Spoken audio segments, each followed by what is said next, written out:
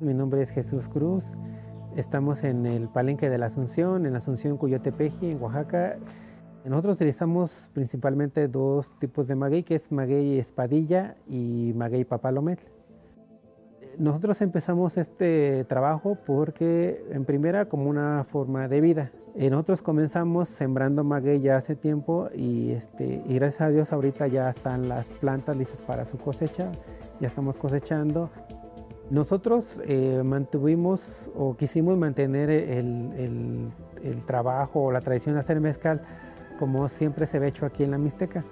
Entonces, eh, eso significa que había que hornear, en, ahora sí que en, horno de, piedra, este, trabajar la canoa de madera con mazos, se tiene que moler a, mano con mazos de madera, este, se fermenta en los cueros de res este, eso porque antes, como los palenques estaban en las cañadas, este, se tenía que llevar ahora sí que todo para trabajar en la cañada y después bajar a, la época de siembra.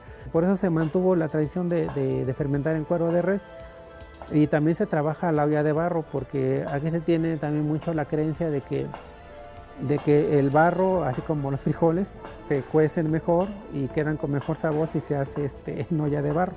Entonces por eso este mezcal se siguió trabajando en, olla de barro, que además por lo que la gente nos cuenta es lo que todas las herramientas que se tuvieron pues es lo que había a mano.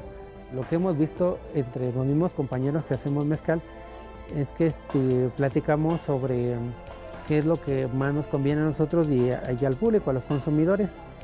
Para nosotros damos nuestra palabra como un hecho de que lo que hacemos es mezcal pero queríamos también tener la, certidumbre de que al consumidor lo que le llegue, por lo menos de nuestra parte, de que sea un mezcal que esté avalado por, por, una, por, una, entidad que dé este, la validez de que sí es un producto este, de maguey, que está bien hecho y cumple con, con las normas que nos pide el país.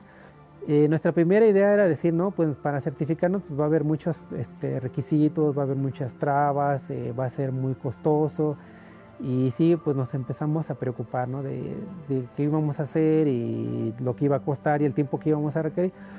Eh, sin embargo, este, ahorita, pues gracias a Dios y, también gracias a, las personas que trabajan en AMA, eh, sí nos han facilitado las cosas. O sea, vemos que sí es relativamente sencillo eh, cumplir con lo que ellos nos piden. A eso nos dio mucha tranquilidad porque nos fueron explicando poco a poco cómo íbamos a hacer, qué es lo que íbamos a requerir y el costo que fue accesible, o sea, realmente es un costo que, que sí podemos cubrir. Entonces, este, por ese lado, eh, sí nos, hemos visto que es un, un, un, trato amable y accesible de parte de AMA. Entonces, hasta el momento creemos que, que, hemos estado trabajando bien y que hemos recibido un buen servicio. Eso es lo que pensamos ahorita. Que tengan confianza en que ellos los van a estar apoyando, les van a dar este, la información, la guía de lo que necesitan y, este, y pues que tarde o temprano todos tenemos que entrar a, un mercado este, formal y legal, ¿no? Entonces, y que, que, a su vez este, genera mejores condiciones de trabajo para nosotros, que pues ya nos podemos este, dar de alta en el seguro social, podemos tener nuestros beneficios. Es hacer lo que hacemos normalmente y ahora sí nada más apegándonos a, lo que, a las leyes del país. y yo digo que eso beneficia tanto al consumidor como a nosotros como productores.